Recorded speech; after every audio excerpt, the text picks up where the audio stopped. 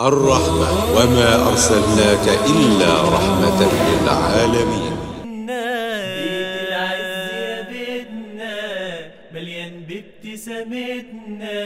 والفرحة دي حكاية في لبنا وحياتنا. والفرحة دي حكاية في لبنا وحياتنا. آه، بسم الله الرحمن الرحيم. السلام عليكم ورحمة الله وبركاته.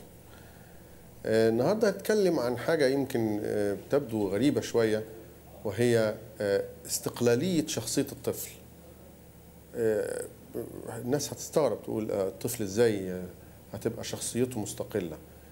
آه، وهي هنا ال- ال- الأزمة إنه في مفهوم عند الناس إنه الطفل ده صغير فهمش حاجة ما عرفش حاجة وإحنا المفروض إن إحنا نعمل له كل حاجة.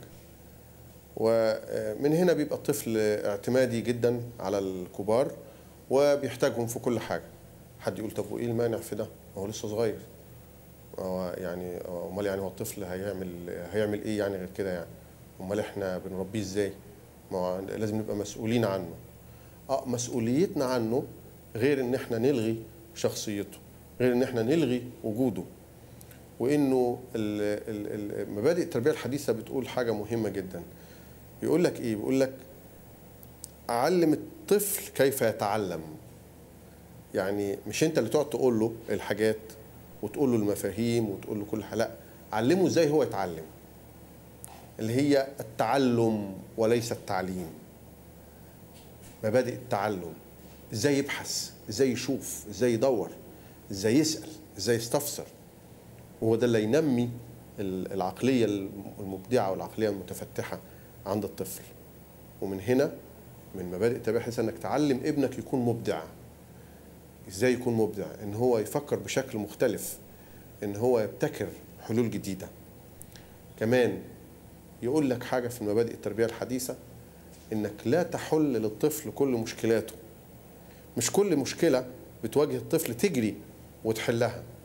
وتحس إنك أب كويس أو تحس إنك أم كويسة علشان حليتي للطفل مشاكله. لا.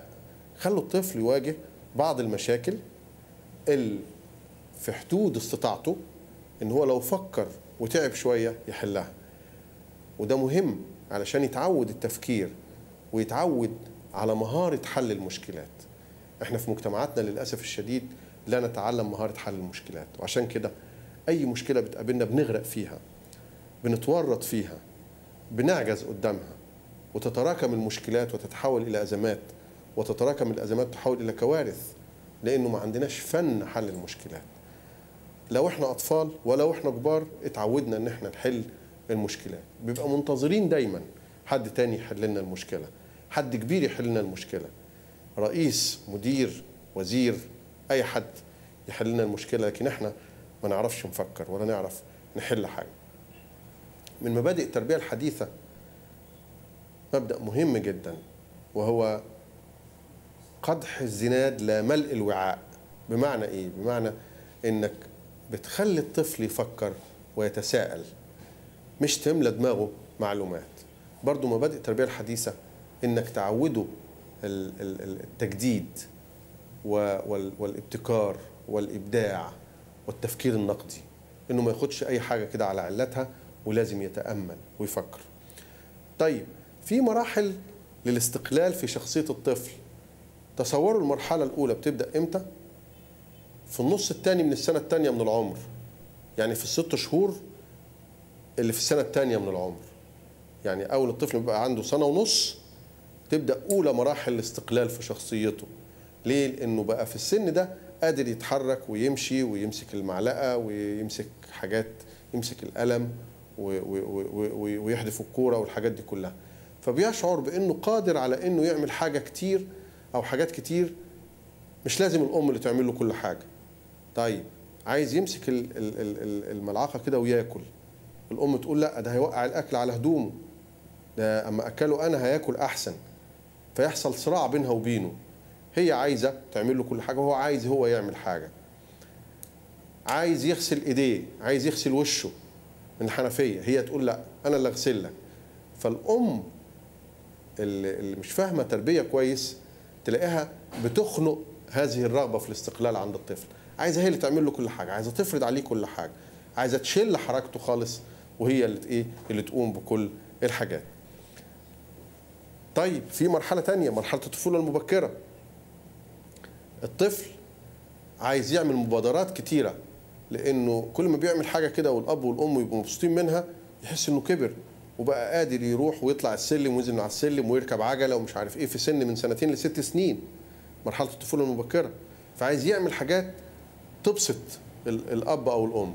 فلازم الأب أو الأم يستقبلوا هذه المبادرات بشكل جيد لأنه لو استقبلوها بشكل جيد ورحبوا بيها الطفل ده يطلع طفل مبادر.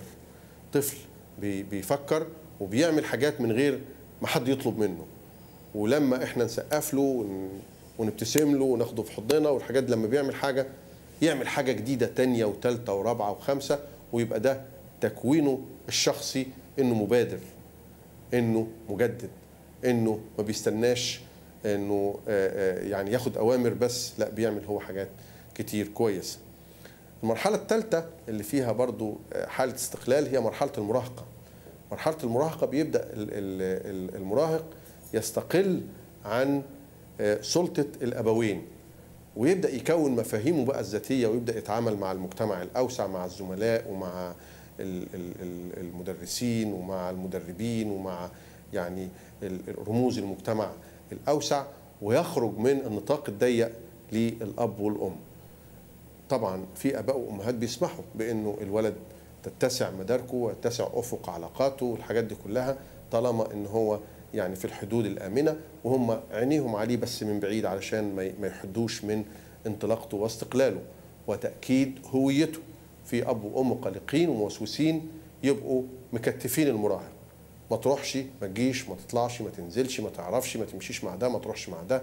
فطول الوقت حاطط له محاذير واعمل له حفر كده حواليه في كل حتة عشان ما يتحركش. فبيعوق استقلاله. يبقى شخصية يسلم بقى ويقول لك أنا من إيدك دي لإيدك دي ولا يهش ولا ينش أو يتمرد تماما على سلطة الأب والأم. آه، نشكركم على حسن استماعكم ونلقاكم بإذن الله في الحلقة القادمة والسلام عليكم ورحمة الله وبركاته. بيت العز يا بيتنا على بابك جنتنا بيت العز يا بيتنا مليان بابتسامتنا. الرحمة وما أرسلناك إلا رحمة للعالمين.